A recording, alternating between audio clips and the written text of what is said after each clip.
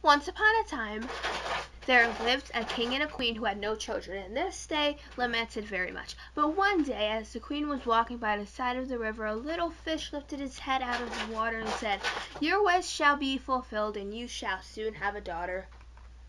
When the little fish had foretold soon came to pass. And the queen had a little girl who was so beautiful that the king could not cease looking on her for joy and determined to hold a great feast. So he invited not only his relations, friends, and neighbors, but also the fairies, that they might be kind and good to his little daughter. Now there were three fairies, thirteen fairies in the kingdom, and he only had and he had only twelve golden dishes for them to eat out, eat out of, so that he was obligated to leave one of the fairies without an invitation. The rest came, and after the feast was over, they all gave their best gifts to the little princesses. Princess. One gave her virtue, virtue, another beauty, another riches, and so on till she had all that was excellent in the world. When eleven had done blessing her, the thirteenth, who had not been invited and was very angry on that account, came in and determined to take her revenge. So she cried out, The king's daughter shall in her fifteenth year be wounded by a spindle and fall down dead.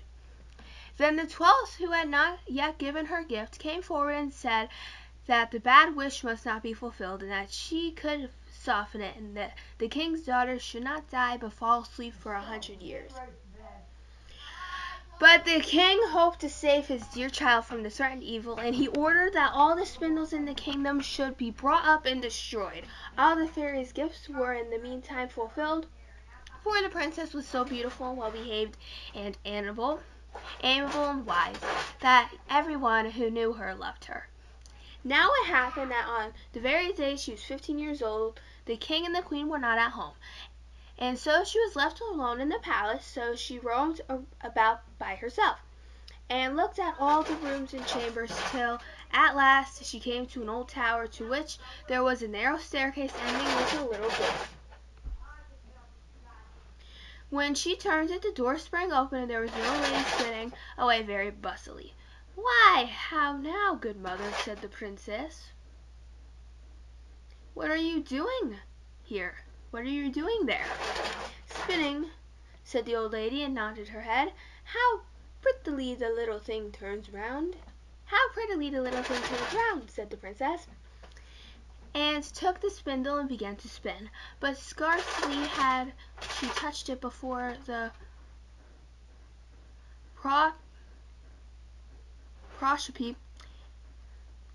prophecy was fulfilled, and she fell down lifeless on the ground. However, she was not dead, but had only fallen into a deep sleep, and the king and queen who just that came, who just then came home and all their court fell asleep too, and the horses slept in the stables, and the dogs in the yard, and the pigeons on the housetop, and the flies on the walls, even the fire on I hearth left off blazing, and went to sleep, and the meat that was roasting stood still, and the cook, who was at the moment pulling the kitchen boy by the hair to give him a box on the ear for something he had done amiss, let him go, and both fell asleep, and so everything stood still and slept soundly.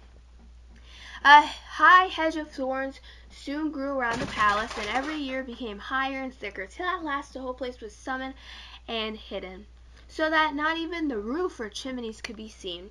But there went a report through all the land of the beautiful sleeping Briar Rose, for thus was the king's daughter called. So that from time to time several kings' sons came and tried to break through the thicket into the palace.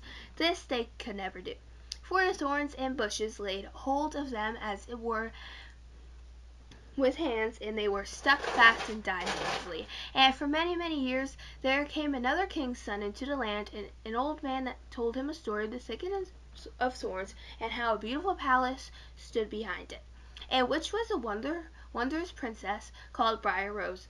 Asleep was all her court. He told too how he had heard from his grandfather that many, many princesses had come and had tried to break through the thicket, but had stuck fast and died. Then young Prince said, All this shall not frighten me. I will go and see Briar Rose." The old man tried to dis- dissuade him, but he persisted in going. Now that the very day the hundred years were completed, the prince and as the prince came to the thicket he saw nothing but beautiful flowering shrubs, through which he had passed with ease, and they closed after him as firm as ever. Then he came to the last then, he came at last to the palace, and there in the yard lay the dogs asleep, and the horses in the stables, and on the roof sat the pigeons fast asleep with their heads under their wings, and when he came into the palace the flies slept on the walls, and the cook in the kitchen was still holding up her hand as if she would beat the boy, and the maid sat with a black fowl in her hand ready to be plucked. Then he went on still further, and all was so still that he could hear every breath drew. Every breath he drew, till at last he came to the old tower opened the door of the little room in which Briar Rose was, and there she lay fast asleep, and looked so beautiful that he could not take his eyes off her. He stooped down and gave her a kiss, but the moment he kissed her she opened her eyes and awoke, and smiled upon him. Then they went. Then they went out together, and presently the king and queen also awoke, and all the court, and they gazed on each other with great wonder. And the horses got up and shook themselves, and the dogs jumped about and barked. The pigeons took their heads from under their wings, and looked about and flew into the fields. The flies on the walls buzzed away, the fire in the kitchen blazed up and cooked the dinner, and the rose meat turned round again. The cook gave the boy the box on his ear, so that he cried out, and the maid went on, went on plucking the fowl. And then was the wedding of the Prince and Briar Rose celebrated, and they lived happily ever after all their lives.